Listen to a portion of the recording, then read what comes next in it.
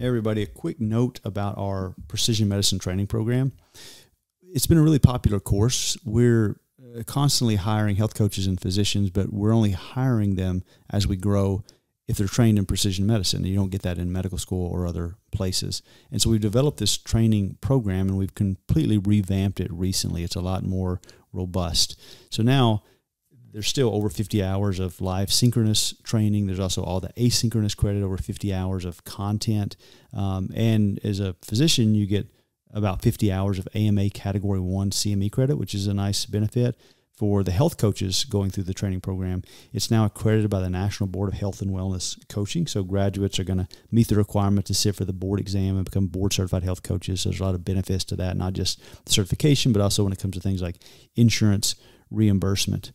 So it's a really robust program. If you're a physician, a nurse practitioner, a PA, or someone that just wants to be a health coach, um, it's open to all of those categories. There's the six month program that's kind of the full program. And then we also have just a fundamentals of precision medicine course, which is completely on your own. It's online, it's all asynchronous. You still get the 50 hours of AMA category one, but it's self paced and you still have access to the online community, but not all the synchronous lectures as well. So if you're interested in checking that out, go to wildhealth.com forward slash education, and we'd love to have you as part of our next class.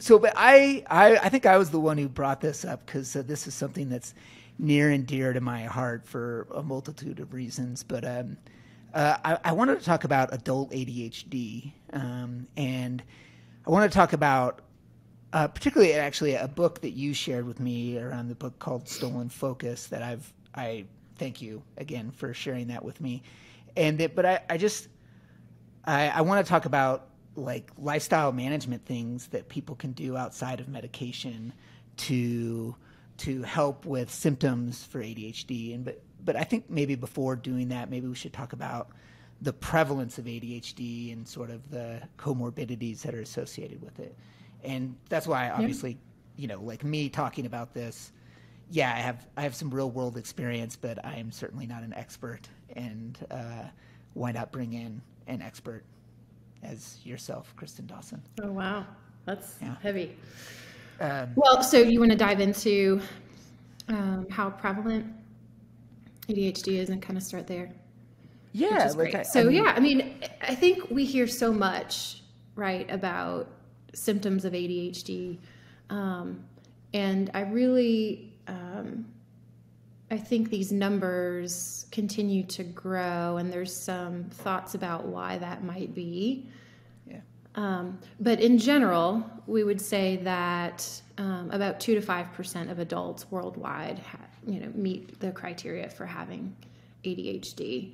Um, and I think it's important to also recognize that um, the vast majority of kids who get diagnosed with ADHD will continue to have that diagnosis into adulthood, um, despite a lot of recognition now and a lot of treatment and interventions for childhood ADHD. So um, I think the you know estimated amounts would be between 60 and I've seen you know as high as like 70 percent of kids will continue to meet the criteria for ADHD. So it's really something that people are going to be uh, as you put, um, managing uh, with or without um, uh, lifestyle modifications. But I would strongly recommend, it, you know, thinking about ways in which to manage symptoms effectively um, with things that don't necessarily always entail medication. Well, I mean, I, I think one of the things that I think about, um, but I, I, don't know if everybody thinks about about the sort of other I guess comorbidities associated with with ADHD, um, and it, not just specifically around attention, but uh, well, I think that's what everybody's like. Oh, you you have a hard time paying attention, and then therefore maybe the downstream effects are that uh, you don't get a task done in your life. Um, but I, I also I kind of think about it with other comorbidities like anxiety and depression, but I, I just wondered if you want to, if maybe I'm like way off base for that, um, and maybe, maybe you could speak to that a little bit. Sorry, you broke up for just a second, Carl. What was oh, that? sorry. So I just wondered if you could speak about like the comorbidities with ADHD. I think about anxiety and depression and the sort of the, the downstream effects from that, not just about people's like inability to you know, you know, uh, complete a simple task. So comorbidities with ADHD are so high, so common. Um, pretty much anything I can diagnose um, in my office is going to um, you're going to have a higher likelihood of having ADHD symptoms alongside alongside it, and so um, it's important to look for those comorbidities. It's important to understand that.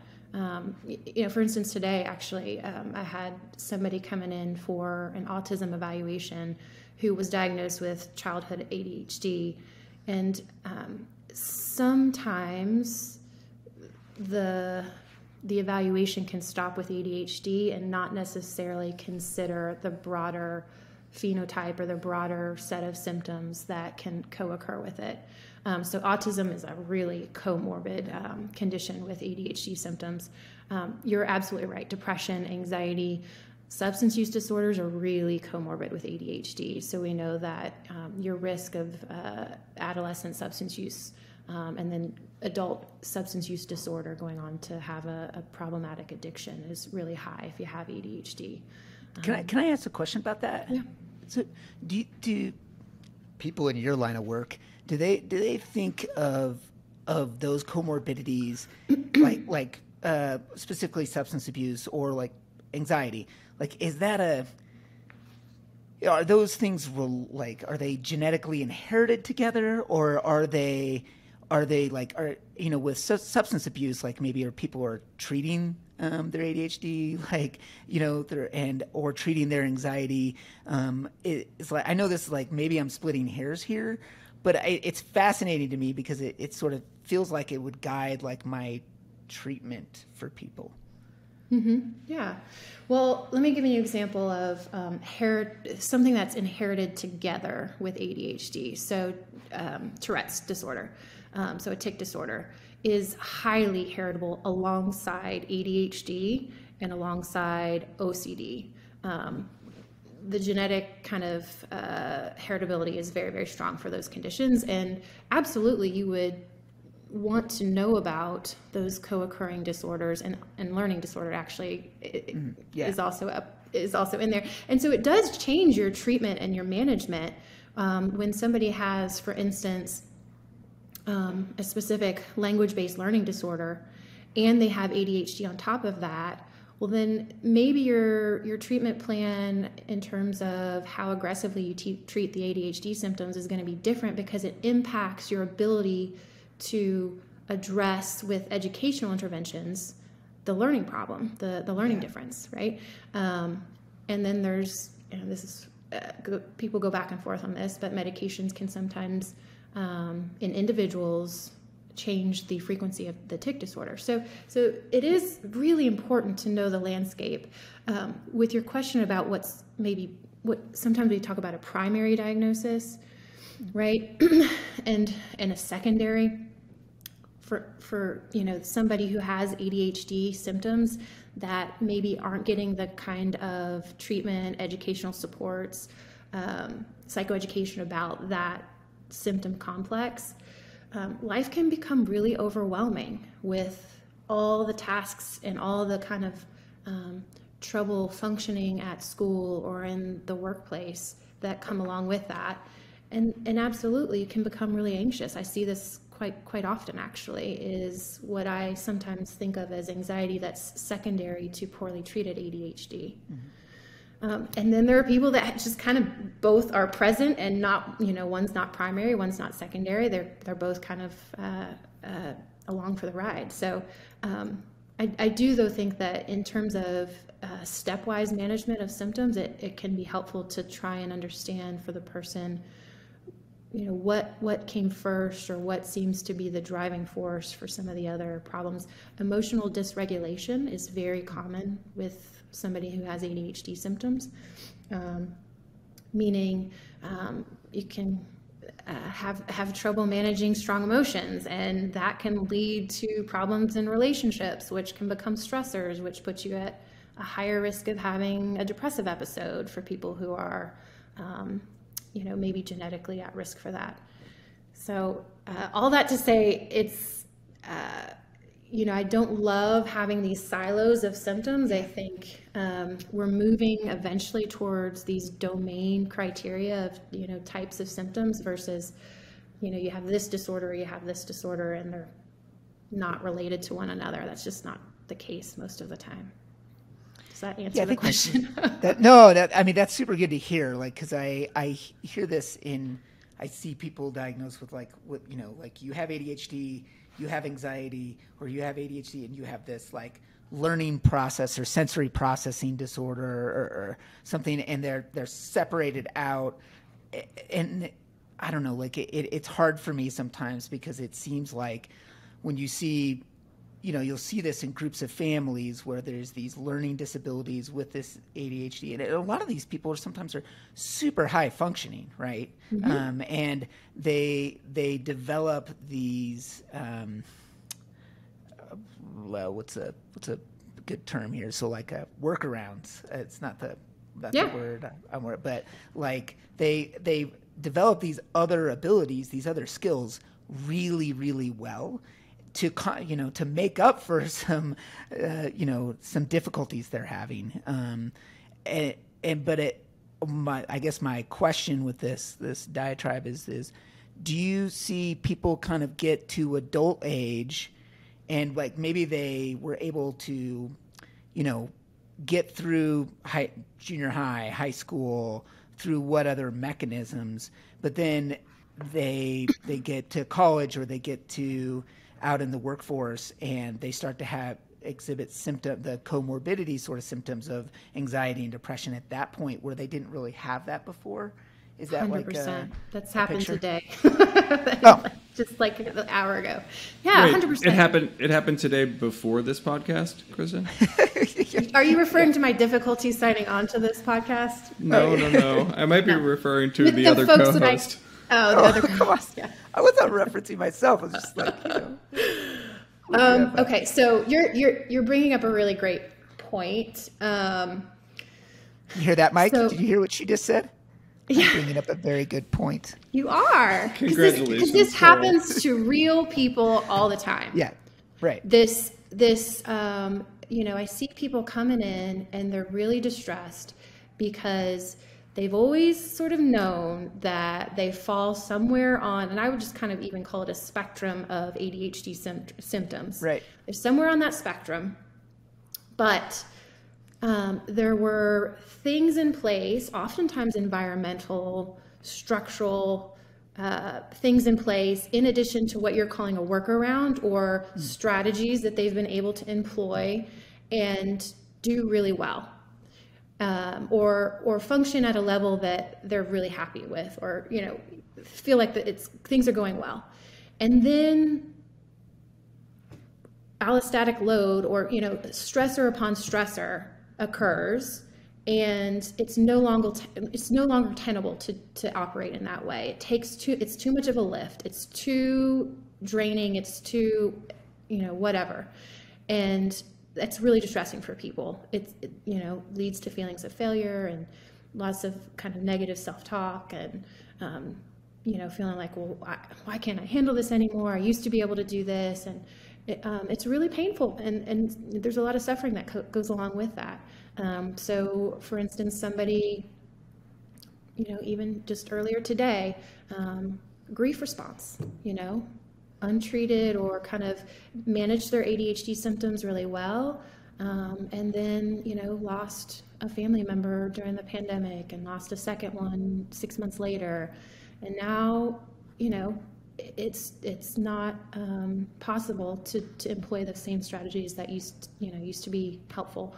Or uh, a different example would be, I talked to a woman who grew up in um, a different country, and she attended like a really structured, pretty strict Catholic school, mm-hmm. which had this really cool after school program where your homework was done with a cohort, a small cohort of your peers. So there was this interactive social component, sort of social pressures to, you know, attend to the task at hand and all these kinds of things. And then she moved to the United States, went to a you know, kind of a typical American public school, and there weren't the nuns, you know, with the with the with the structure, and there wasn't, you know, anybody after school making sure that she, you know, and school all of a sudden, it the ADHD symptoms were um, because of the change in the environment and the stress of the cultural, uh, you know, language change, you know, it just became unbearable. So it's almost as though it's an unmasking or it's a, um, the, the symptoms were there, uh, but life became too much. And now there was a need to have some help. I don't know if that applies to your situation or not, Carl. Or I don't know. I, I, don't know why we're talking to keep bringing this about me. This is not about me here. No, we're not talking about Carl. Let's, uh, t- guys. Can, can you uh, can you give me? I feel a little bit left out um, because I, uh, I I didn't do my homework, um, which may or may not be attributable to adult strategies that no longer work for me that used to work for me. We're, we're just going to leave yeah. that one alone. Um, yeah. But talk to me about stolen focus a little bit because um, I'd love to I'd love to hear about like yeah.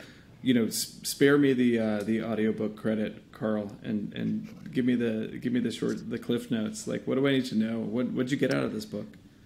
Well, can I? I'll go, Kristin. You probably have a very articulate, uh, very well thought out. You probably remember all of the book because you just you know, because you're just a smarter, better human than me. But I, so, yeah, yeah that's Carl, right. come on, man. From. So weird. Uh, so I kind of boil it down to this: is there there is, um, and this this this kind of uh, part of this it kind of answers some of my questions that I had because you know maybe as a kid, maybe in rural Wyoming. Um, I was the sole problem in some classrooms, mm-hmm. and uh, or somebody, a kid was a sole problem in some classrooms that people just didn't really know what to do with, and this was you know a while ago. Whereas now I hear that like you know uh, there's the rate, like when I hear the two to five percent worldwide, I'm like, really? Because it seems mm-hmm. like every time I turn the corner, somebody's like yeah, you know, my, my kid has ADHD or uh, like I was diagnosed with ADHD. Um, and I, you know, I don't know if I'm living in an echo chamber or not, but, um, but I, I think stolen focus really kind of congealed a lot of thoughts I've been having about the, the world and the planet and things that are going on in our society into like why so many people are having difficulties with focus and um, where people who were not having problems previously are now, and um, and so w- this the story uh, of it kind of goes through like in a way he goes through a list of different things that are happening around screen time around computer algorithms that are set up to basically uh, that that social media entities are set up to um, be incentivized to basically take our focus away. Um, and in addition, like he goes through things that we know, like sleep disruption, um, stress responses, and, and where society is dealing with stress response and sympathetic overdrive, um, and diet, and uh, you know things in our environment, like pollutions in our environment. But then he also talks about our genetics, and, th- and this is where I kind of like I don't know if I entirely agree with what I took away from the book, and love to hear what you think, Kristin. But um, that that basically like there, I don't know. Well, there are people who uh, are that maybe it's not as genetically linked as we previously thought, and that um, that this is more of a societal issue, not a genetic issue. And I, I have a hard time with that, uh, admittedly. And, uh, and, and, again, I may have taken away something different than you did, Kristin, but uh, I have a hard time with that because I've seen whole, you know, like family lines clearly line up of being like, where I can, you know, look back in a family and be like, ah, that uncle, that uncle, that uncle, um, you know, and I, I see that. And so, but what I congealed in my brain is I feel like there's this spectrum, as you say, of genetic risk that is in there's almost like an epigenetic response to what are things going on in society. There's there's people that are predisposed to this, and you put them in the right environment at the right time in the right setting, and they're going to have significant attention issues. Whereas you take other people and put them in the right the a different or the same person, same genes, if you could do that, and put them in a different environment, they're going to respond completely differently. Not necessarily what I think the author seemed to be implying that there almost was no genetic component to this that this was and that's what i maybe i heard. But um kristin you want to go? Go go go. Okay. Um, what i appreciate about the book is that it helps us see the landscape of the environmental societal factors that um, interact with our genes to potentially amplify or um, maybe even unmask cases of more severe ADHD symptoms than perhaps would other, otherwise be present.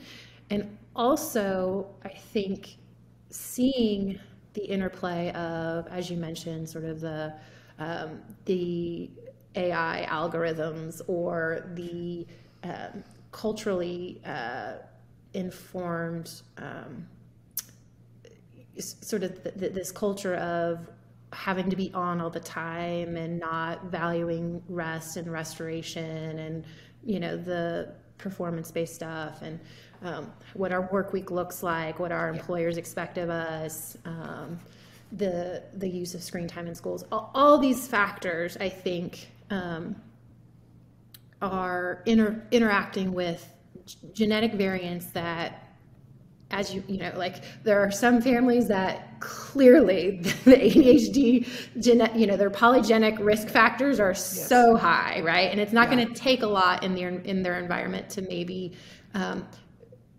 uh, push somebody into a really, you know, not being able to function well in that environment. But I, I, do think that understanding some of these other factors that have nothing to do with, you know, our genetic makeup is helpful um, if we want to to make changes um, that support all these kids who are struggling with ADHD symptoms and all the you know adults who who as well um, without making it feel like you know one thing that i think he does a good job of it it's like it's not um, you know people get maybe mislabeled as being unmotivated or lazy like all those negative attributes that are internalized by children who grow up thinking that if i could only sit still i would be of value or you know these messages that get perpetuated over time in our culture um, that lead to that dysphoria and yeah. you know the depression and the anxiety and all the other problem, the substance use later on.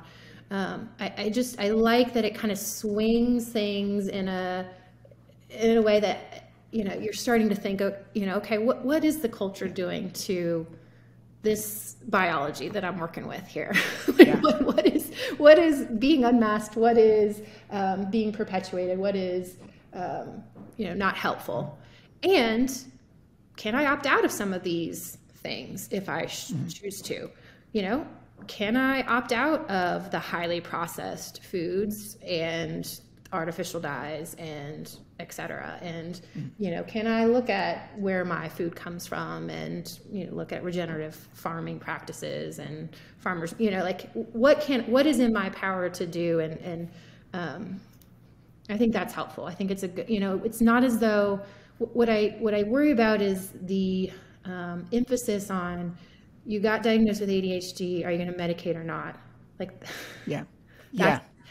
Which I I, I understand. Yeah. Uh, I understand why that's coming up so often. Um, but I love that this is broadening the conversation about ADHD and ADHD symptoms to, to more than um, you know the teacher prompting like are you going to medicate or not? Yeah. You know there's medicines for this and you know that kind of thing. for sure. For sure. And i i mean i i don't want to like i think maybe maybe we should pause for a second and, and talk about this but like i i don't want to you know i think there's some people that benefit from medication. I think there's some people that uh, lifestyle modifications are going to be more powerful for. I think there's just because you're on medication doesn't mean lifestyle modifications aren't going to be helpful for you.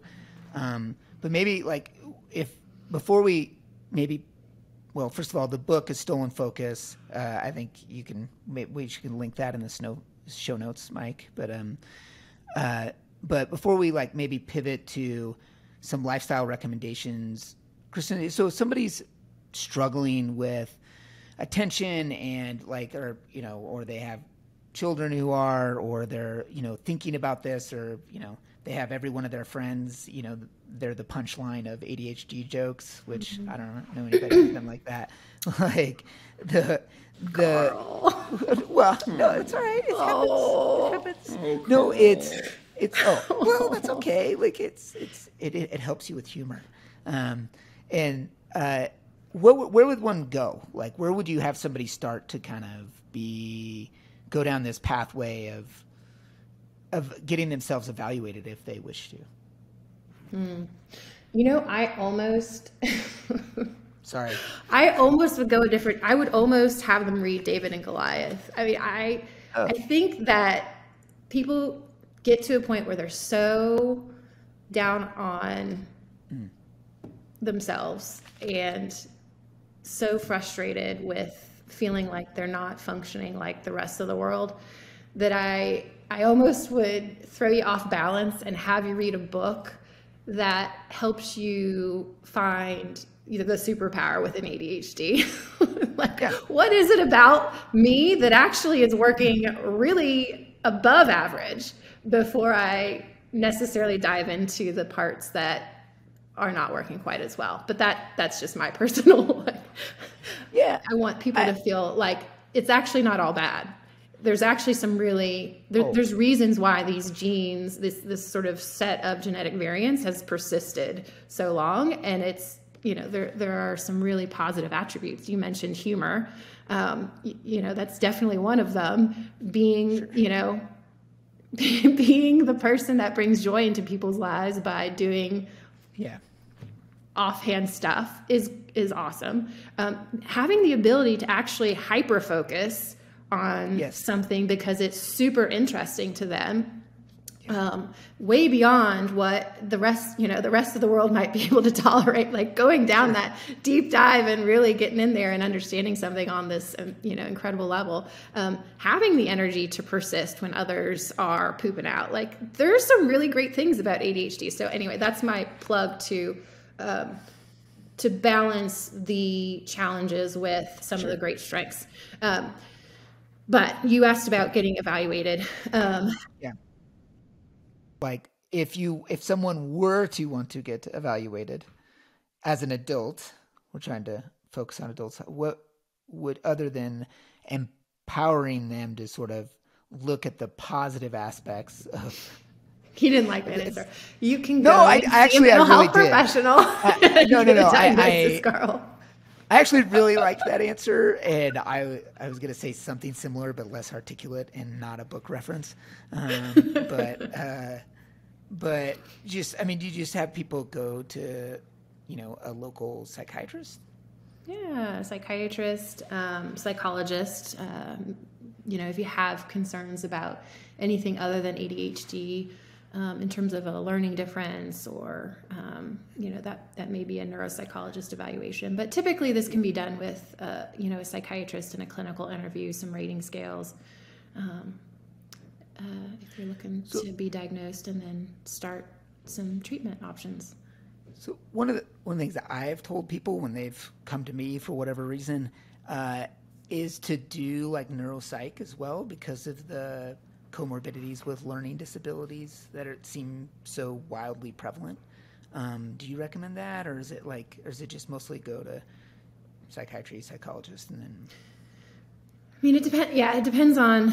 Yeah. Um, yeah, it depends on the person's history and the, you know, particularly the educational history, right? if the person's someone who um, you know, was always told that they were running around with a motor in them and they had to repeat maybe a grade or they struggled with math or they struggled with reading or they learned, you know, that may be somebody. But but I would say that um, if you started with a psychiatrist, they could hopefully tell you if the, the neuropsych testing made sense because it can be a very I mean, it can be an expensive evaluation, Oh, yeah. and there's a, oftentimes the long wait to do the neuropsychological testing because that's, you know, sometimes four, six, eight hours worth of an of an evaluation. Um, so it makes, for me, it makes more sense to start off with an hour long evaluation with a psychiatrist.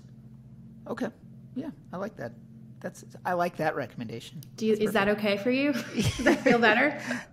No, I think you're right. I mean, the, the the cost is super high, and also the time commitment.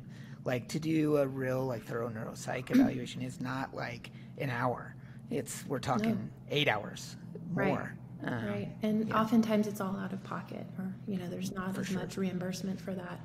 Um, so I think it makes more sense to see a psychiatrist first. Well, let's let's talk about um, some outside of medication, some lifestyle recommendations, and I kind of wanted to break these up into like maybe dietary supplements and then like maybe environmental, um, if that's all right. That's the way it kind of made sense in my head. But um, Sure. um, What have you come across? uh, well, I I mean, I I think about it like a bunch of things. So I think of I think of elimination diets for people, um, and I as far as from dietary, and then elimination diets kind of sub to that is decreasing, you know, sugary processed foods, which I think is like uh, it's one of those things that I was as a kid I was like, oh, that sounds like an old wives' tale, um, but uh, maybe maybe not. And then uh, omega three supplementation um, as well is something that's always kind of been floated out there, and and kind of sub diets like specific diets like outside of elimination like Mediterranean diets um, that people uh, talk about. Um, do you what do you is that like a thorough list for diets It's a great list. Yeah. I mean, I think in general, what I, I would say is um, there's this wonderful new field of nutritional psychiatry that is like basically four years old or five years old or something like in, in terms of a you know a, a recognized uh, subspecialty within mental health but my goodness um, it, it just uh, how, how can what we put into our biology not impact the output that we get out of it in terms of just you know our brain functioning and um, so the oldest or, or i guess the um, the oldest sort of intervention dietary intervention for adhd is only a couple decades old which was the feingold diet um, which you know is not something that we would recommend right now but just historically speaking a pediatric allergist was actually the person who was looking at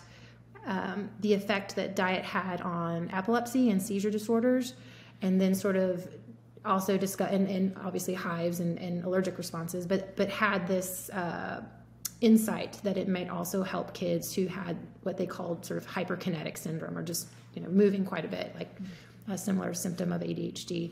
Excuse me. So um, so it yeah, started to, as you mentioned, eliminate certain things from the diet that may be causing or exacerbating some of these symptoms of uh, inattention and hyperactivity.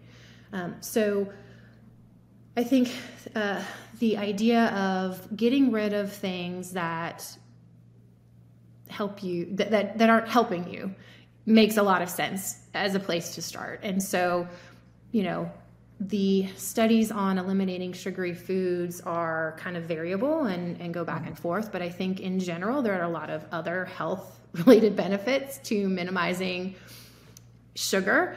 Uh, and, you know, we're just coming off of Easter and um, like Peeps. last night yeah. had Yeah. so much sugar. You know, I was like, this Yeah. podcast isn't going to go well because I'm you know, not really functioning well. But, um, you know, I do think it makes sense for, especially, um, you know, I- I think it makes sense to eliminate sugar if you're able to, or to the degree that you're able to eliminate it. I think it makes sense, and this is there's more research on eliminating food dyes, um, coloring, and, and food dyes.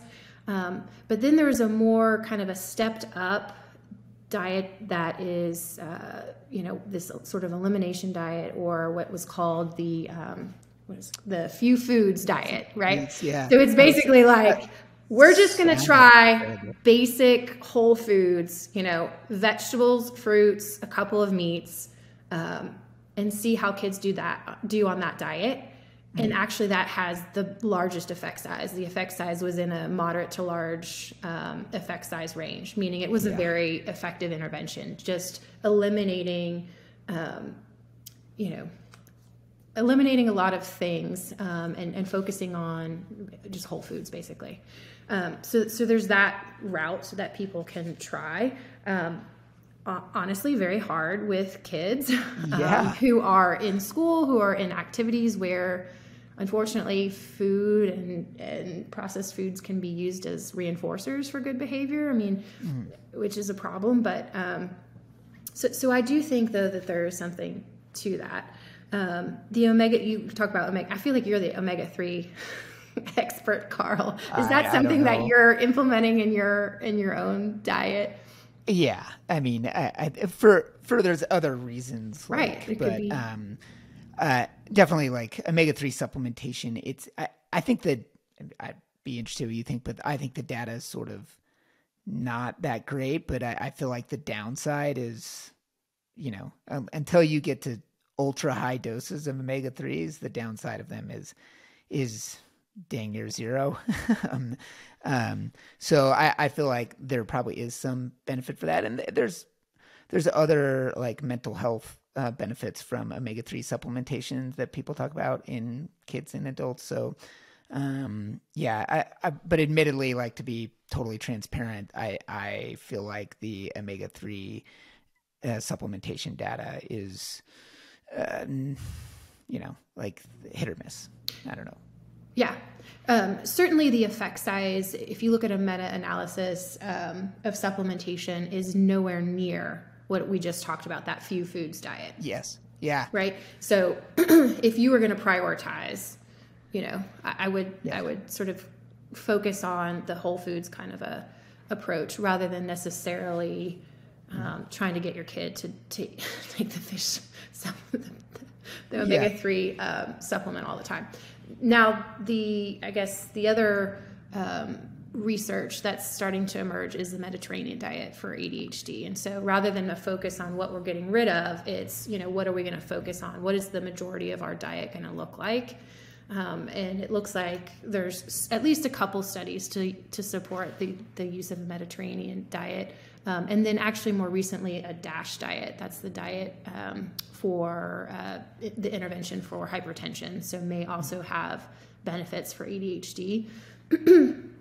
Um, like, so think, like all of these, I, maybe I'm like I, I I make these intellectual leaps that may make you wildly uncomfortable, Kristin, and that's fine. Just don't eat a bunch of crap and and you're like like most things you're gonna do better. Um like don't eat crap you'll do better. Um maybe is it is that a can i boil it down to that or am i taking too much of a leap? No i mean i i 100% uh, i mean i just think it's so wild. When we when you you know you bring your newborn baby home there's so much focus on when and how and what you feed that infant. Yeah. and it just like the the allowance of all these other things into the diet just explodes around toddlerhood or maybe if you're lucky like they get to school age and then they know that and and so i think a healthy amount of going back to let's not feed our kids crap let's not eat crap ourselves as much as is possible knowing that yeah. we live you, you know, knowing that it's hard and it's often an uphill battle, but um, to the degree possible, lots of vegetables, lots of colorful fruits, nuts, legumes, things that have omega 3s naturally in them, salmon, chia seeds, walnuts. In general, I think we're all going to function better on that type of a diet. Yeah, no, and these are the things that like I know that I'm I'm trying to make it like really simple just cuz I do that, but like um, in a way that people like, or I feel like I can remember. Like I, I, you know, we, I feel like we can split hairs between Mediterranean diet, Dash diet, the Few Foods diet, which is the worst name ever. Um, it makes it feel like you're just gonna like. I'm like, I think you guys need to somebody. You guys needed a marketing agent or something. But, um, but like if we can just like limit processed foods like as much as possible and like I, I yeah, just don't eat crap. Like that that like I think that's where I see where I think all these kind of line up together in my mind for benefit, you know. Um uh sorry, I know that's like not but no, I, I agree with you, Carl. I, I mean, I agree with you. And um, at the same time, I want to acknowledge that um, parenting in our society and trying to get yeah. good foods into our kids is is yeah. can be really challenging. Um, and and so, well, especially if you have some of, of these kids who are on medications, that sometimes just getting them to eat food is, or adults, like if um, you know, I want to kind of keep it at that. Like if you just trying to get people to have the calorie intake when some of these medications are appetite suppressants and and uh, you know like I think it's it's sometimes hard if you're just like I don't know man just eat a pancake you know? Like just have some calorie intake. That that's where it gets hard I think um, but uh, I guess maybe a, a transition away from diet and talking about the maybe more i think it's more complicated just like environmental environmental like uh, interventions that you can do. Um, some of these are seemed easier but i you know i think of um, you know physical exercise being like the cornerstone of of of lifestyle interventions um, for people with ADHD and and and I I think that a lot of people they they come to this on their own. I feel like um, that they feel, eh, but not always, but that a lot of a lot of people with significant ADHD, like they they realize at some point when they're physically active, and there's even studies that represent this, like even a single like physical activity actually like links to better uh, even like functional MRI data, like and better um, performance on exams, just like physical activity followed by exam um, versus watching a TV followed by exam. They just do better, um, which may be well done science, but um,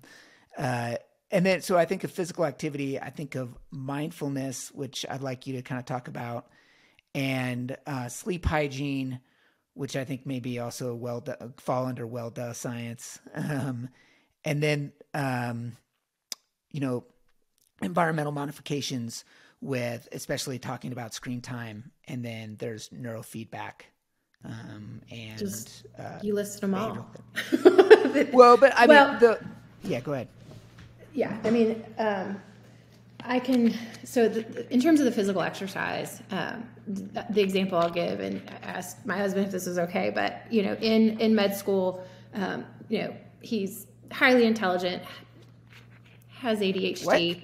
all huh? of a sudden, yeah. All Are we talking about the same guy? yeah.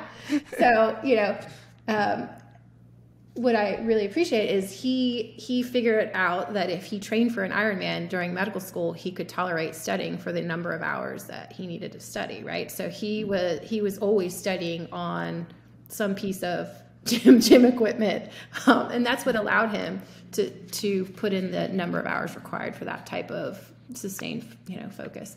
Um, I don't think this is, you know, you said it's well, well, duh science, but oh. truly, um, I think all humans function better with some yeah. movement and some degree of physical exercise. But if you had to pick a couple of groups of people who uh, maybe benefit even more, folks with ADHD would be at the top of my list. Um, I mean, also people with anxiety and depressive disorders, which are highly comorbid with ADHD. So yeah. I don't think there's any, you know, I don't necessarily think there's any group of people that don't benefit from that, but in particular. And, and so where this comes into play, though, I think is the environmental, you know, mismatch that can happen for kids in certain school settings, right? When there isn't that ability you know that we have as adults to let's say you know you're the adult on the treadmill and you're walking during your zoom meetings right or you're like on, you're taking them on a run or whatever you figured out a way kids don't have the the ability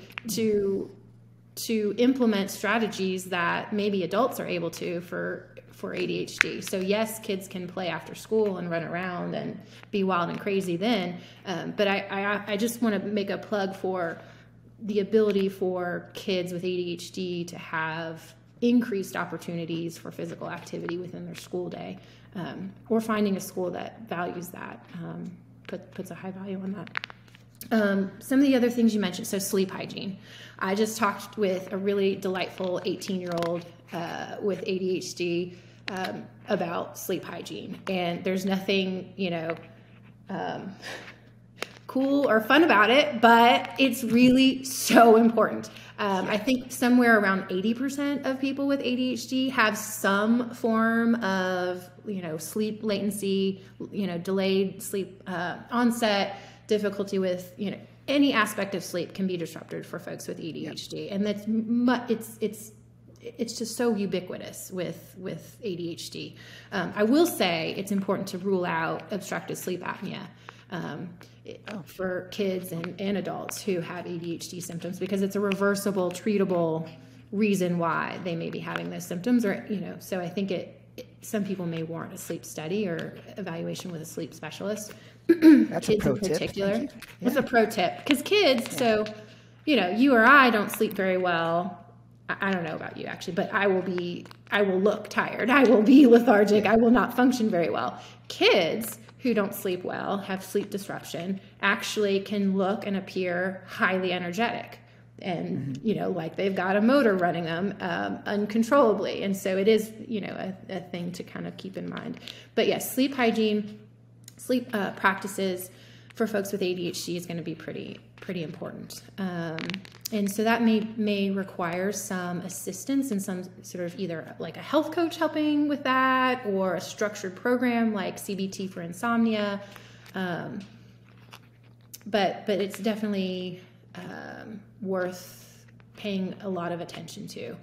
Um, one of the other things you mentioned was mindfulness practices. So, yeah. so I will say mindfulness almost enters into a category not just of a lifestyle intervention for ADHD, but as an actual treatment for ADHD in terms of reducing the symptoms after you stop the treatment. So you may know that with our stimulant medications or non stimulant medications, um, they're very good at treating acute symptoms of ADHD, but once you stop them, you don't have a long lasting benefit. You really have the symptoms return with a mindfulness based intervention, um, you can see benefits even months later. And actually, neurofeedback is in that category as well as an intervention for ADHD that even after the program, after that intervention is done, at least three to six months after a neurofeedback program, you can still have remission or at least reduction in your ADHD symptoms. Um, but at any rate, I think mindfulness um, is a is a great practice. I almost think coupling it with the physical activity makes a lot of sense for folks with ADHD. I find that a lot of my patients um, have an interest. They hear that mindfulness can be helpful. They cannot sit still um, to, to begin the practice, to start working on that, that practice. And so oftentimes I find that a very kind of high intensity physical burst of, of exercise and then coupling that with the mindfulness practice right afterwards can be a, um, a way that helps them enter into it a little bit more readily. Um, if there's another one you mentioned. Well, I talked about um, screen time. Screen time, yeah. Screen time, and then and and with that, I kind of think about uh, uh, setting up people's environment for success. Um, and then the third thing I think below that, or maybe you want to couple the screen time and environment together, but um, is neurofeedback, which is kind of new on my radar, and I have like very little knowledge base about. Okay. So screen time, you know, there's not a ton of great research to say this is a you know a, a game changing intervention, or you may you may have found something. Um, you may, there's a couple studies, um, but I can tell you clinically what I see. Yeah, I, I mean, I, it, it's one of those things where. Um, you know, I, I don't know that I have a meta analysis, you know, to show that a great effect size for reduction or elimination of screen time, but I can tell you clinically that it helps a lot of people. Um, it, it, can be uh, quite quite astounding. In fact, actually, there was a, I came across a, a therapist once who was doing um, evaluations on kids who wouldn't even evaluate a kid who was using screens. Like she, she literally was like, at all yeah, she would tell the parents like you got to stop all screens and then we'll see what's left behind and we'll do the we'll do the evaluation, we'll do the assessment. And I actually wow, kind of I mean, I have to respect that. It's a bold statement.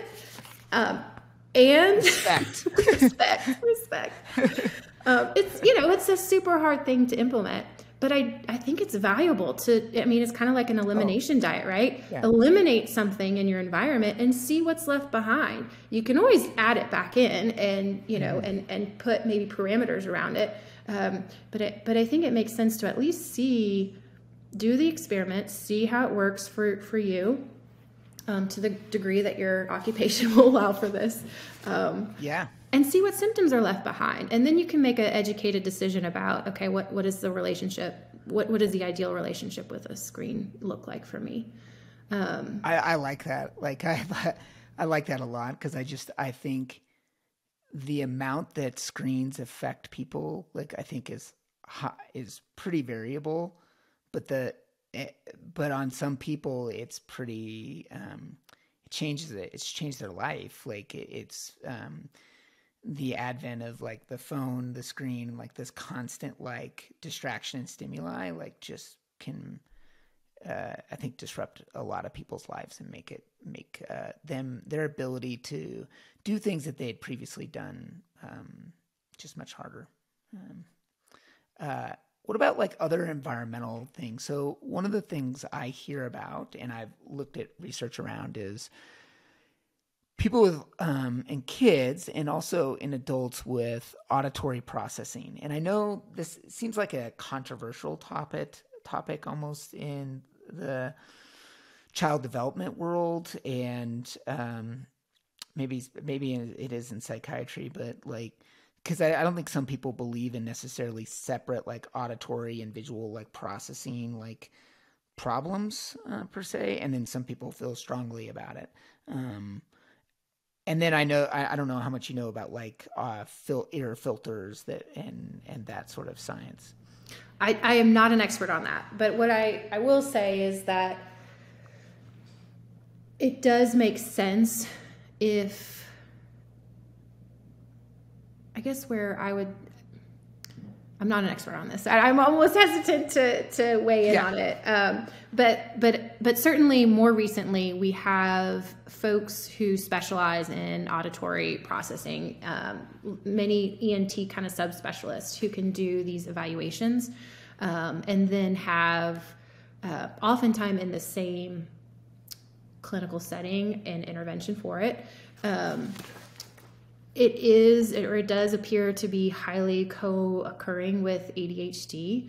Um, and so I think it's worth having on your radar if, let's say, especially for me, knowing how robust people's responses can be to stimulants, if you had a trial of a stimulant medication for your ADHD symptoms, and you're still um, not able to take in information um, and you, you know um, learning environment work environment is still really challenging for you. I think then it makes sense to see a specialist about auditory processing.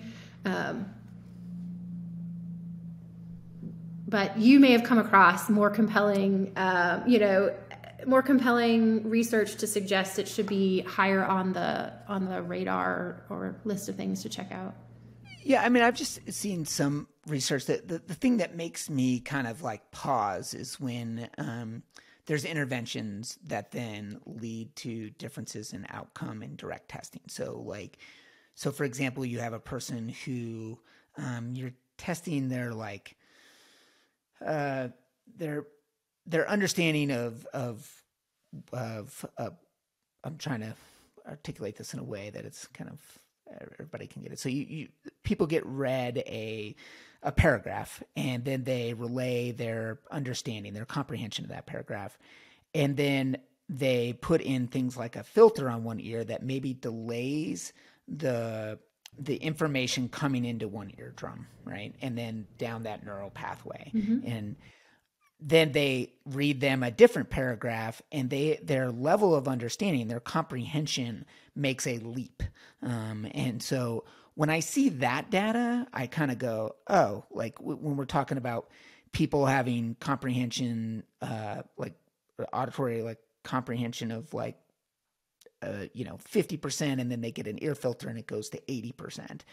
I kind of go, oh, well, okay, there's something there. Do I understand like the exact mechanism of which that is working? And does it entirely make intuitive sense to me? Not not necessarily, but that but I you know certainly that data exists. Mm-hmm. Um, mm-hmm.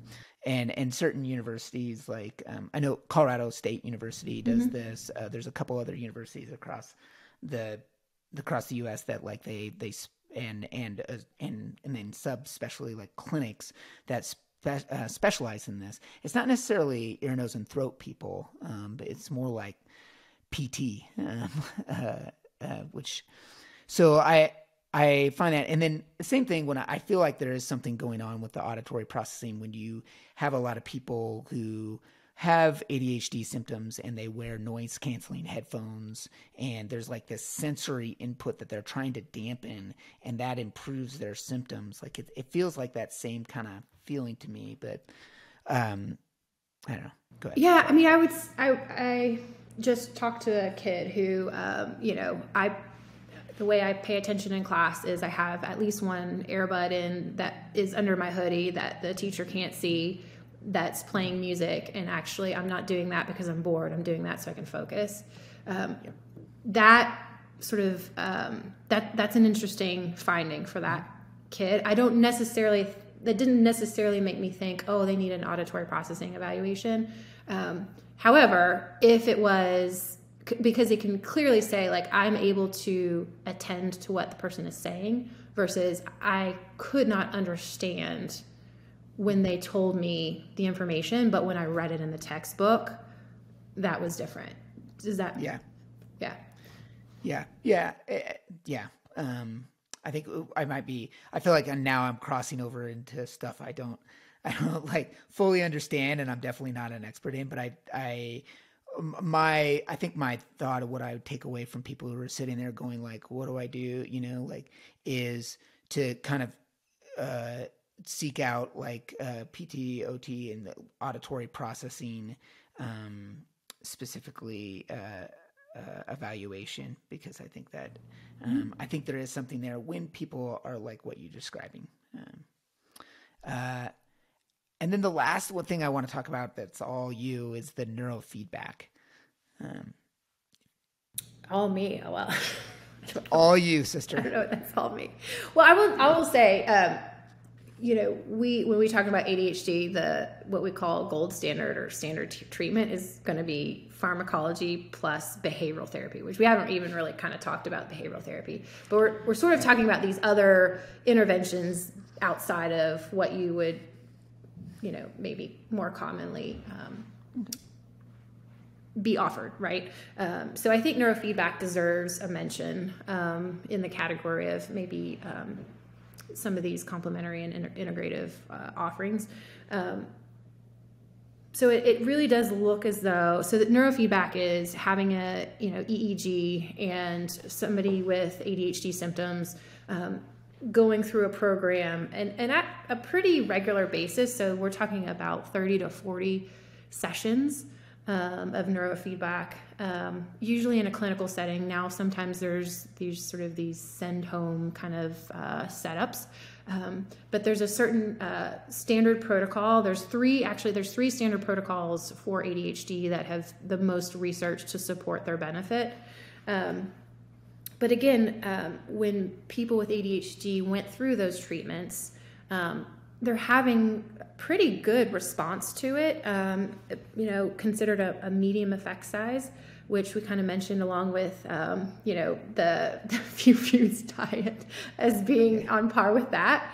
Um, but what was really kind of impressive to me is that the la- the the lasting benefit of the intervention. So again, having a, a sustained response to that 30 to 40 treatment session, um, six to even up to 12 months after after it completed, which is just really not something that we're seeing with some of these other ADHD interventions. So um, I think it's definitely worth a mention um, up to 47% will have remission of ADHD. Remission meaning not just that their symptoms got better, but that they don't qualify as having ADHD. You know, you can't make the diagnosis for them anymore based on their their current presentation. Um, and, But th- and that's no with side that's with right? thirty. Like, sorry. oh, go ahead. That's with 30 No, to 40. that's- Yeah. Yeah, that's my question. That's a lot. That's a lot. That's a lot. Yeah. Right. It's a lot. It's a it's a commitment, right? Um, but you know, there's no side effects other than you know, there's no adverse effects, right? There's no study on neurofeedback for ADHD that's you know caused harm to somebody or, um, but it's expensive. Now, if you do the cost benefit analysis of neurofeedback as compared to X number of years of medication management with behavioral therapy, which is currently sort of the robust intervention for ADHD, over you know over the long term, it seems to be cost effective. Um, you know, but still a, a high up upfront cost uh, and expenditure of time um, for sure. Yeah, but like, yeah, I, w- I would imagine like I don't know those the number off my head, but I imagine the long term cost of medications and, um, yeah, I imagine that would get expensive at some point, and there has to be some kind of point where those two, uh, Converge and then one. Yeah. yeah. yeah. Um, well, that's super interesting. Uh, Yeah, I think it it does seem like a lot of a commitment for for somebody. Like you gotta. That seems like a part time or job for a while. Um, Yeah. okay. One intervention I'll just say that has not been shown to be helpful, because I think it's important to know like, what's not. Um, there's something called CogMed, which is sort of this online. Um, it's sort of designed to be an online cognitive uh, enhancer of working memory. Um, ha- has been something that initially was really exciting, but I think the majority of the studies now um, don't seem to demonstrate that benefit after after the program is is over with in the way that neurofeedback and mindfulness based interventions seem to have a, a longer lasting uh, impact. Well, that is uh, that's a lot of information. We just like try. try I've, was there other stuff that uh, that one should be doing? I think we've maxed out the attention of any possible listener. yeah, yeah, yeah, yeah. Don't worry. That, don't worry. They're listening to us on 1.5 to 2 speed. At least Which- 1.5. Yeah. Well, if, when you get my voice to 1.5, it does not sound good. It's, it's oh, it doesn't sound good at baseline. Though. Like, not only do I have a face for radio, I have a, a voice for not radio. I don't know. Not really. No. So it's a, it's a bad combination. I have a mustache for for video, but that's it. Do you, That's all Carl? I get. I mean, in my mind, absolutely. In your mind, yeah. Yeah. Well, I, I definitely appreciate the opportunity to widen the lens of what is Yeah. available to help people and support people with ADHD, both kids and adults. I know we kind of touched on kids too. Um.